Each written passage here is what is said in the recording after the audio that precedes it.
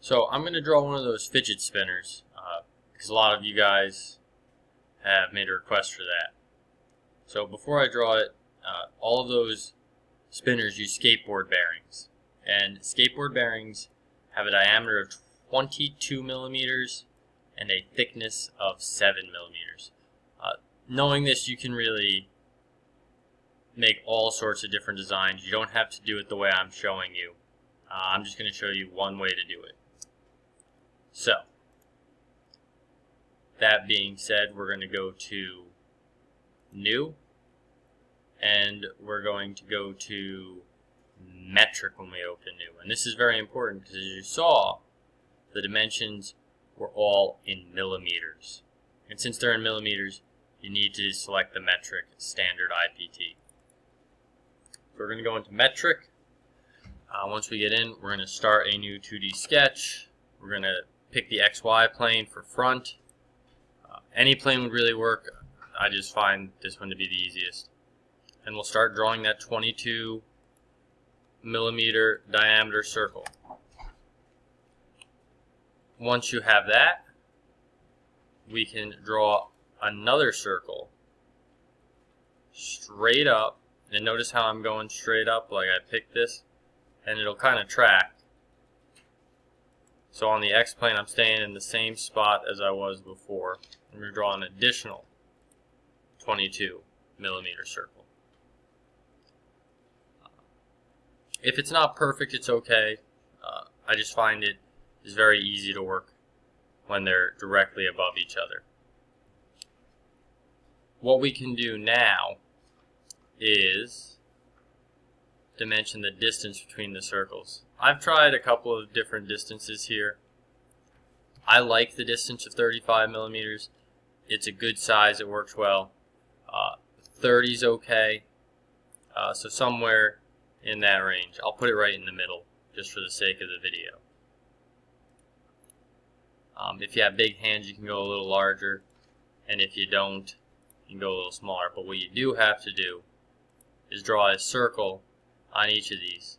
Now, the way I'm showing you to do this, uh, I'm putting the circle on the inside one as well. You actually uh, don't necessarily have to do it that way, uh, but it works nicely for the way I'm showing. I like to make my outside diameter 27 that seems to have worked well so far. Uh, I haven't had any snapping or breaking uh, when I've been printing them, but there's no uh, harm in getting a little beefier if you want to go to 27 to 28 to 29, whatever you'd like to do. Uh, so, just showing you you can modify it if you don't like the looks later. Then we're going to take the line tool, and this is why I like to say it's important to get them perfectly lined up because it allows you to make these nice straight lines. Once you have those, I'm just going to go in, I'm going to trim the inner part. So this would kind of be like a spinner with just two things. So what we're going to do now is we're going to do a circular pattern where I'm just going to select everything like that and I'm going to pick my axis which will be the center of our original circle. And this is why I like to show it this way, because this kind of lets you do anywhere between 2 and 6. Once you get past 6, uh, you might be able to squeak out 7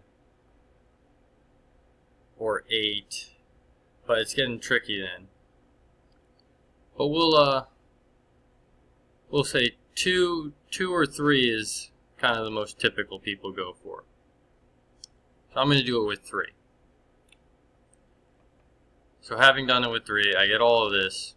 I don't have to do any more trimming. I can just hit Finish Sketch. Once I get in here, it's pretty easy to extrude it. I grab Extrude, and I just grab the three legs. Uh, Remember the thickness of those bearings was 7, so this is the second number I needed. So we'll get 7. And you could be finished with this. Uh, but I like to kind of make mine a little nicer.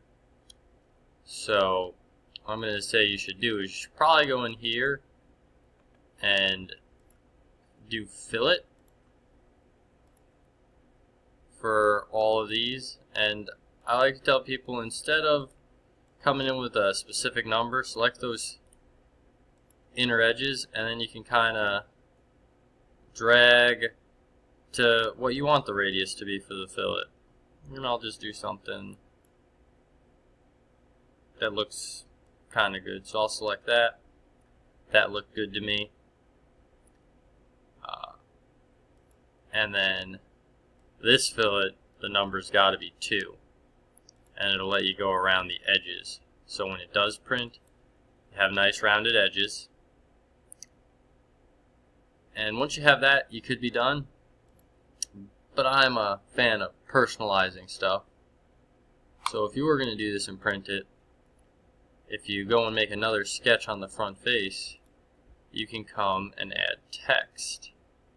I like to try to kind of create a circle to line up where I want my text to go so it's all kind of even and I find a good text size is 6.1 millimeters. And you could then add in your three initials. So that one's the easiest. And and you can move it. And then you can make another text box over here. And once again you gotta change it you can change the letters to a font you like. Um, and after you get the next letter in there, what you got to do is you got to rotate it. So you select the letter, pick a center point, and then you can kind of spin it.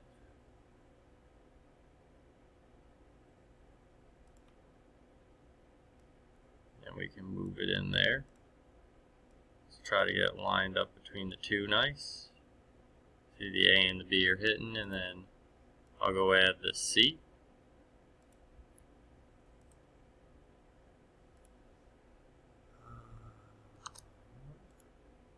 And once again, I will rotate that C. So I'll pick the C.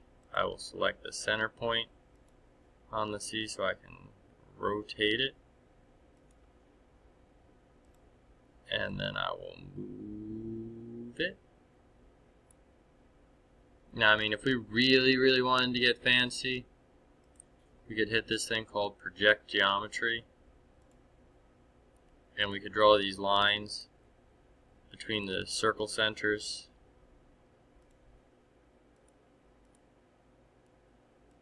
And then we could not only get these shapes lined up by the circle, but we could get them lined up on the line as well you're uh, kind of OCD about making things look perfect, you can do this. It's, it's a quick way for layout. But it can be a little more time consuming. Sometimes you gotta zoom in to really get it where you want it. And the A looks good. So, if you hit finish sketch then, you can go to extrude, and you can actually pick each of the letters and cut them out. Turn sideways, it'll show it's cutting out. So you can cut them out. And uh, it'll print like that. I do have to warn you though, if you're doing something like ABC, you're going to lose the ABC if you cut them all the way through because you're going to lose the middle of the A and the middle of the B. So one thing you can do to avert that is you can cut down like six. So now it'll have a nice stem to sit on. So it won't be visible through both sides, but it'll be visible on the top. You could also just do a little indent if you wanted, maybe like two. That's up to kind of your personal preference. Now if all your letters are like C, you know, things like C, U, M, W, S, letters like that where there's no little bit in the center, you can cut those straight through and you don't have to worry. But this is uh, one of many ways to make the fidget spinner. Uh, you could get creative. Um, I just find this is a very simple way to do it. So, I hope you enjoyed. Good luck.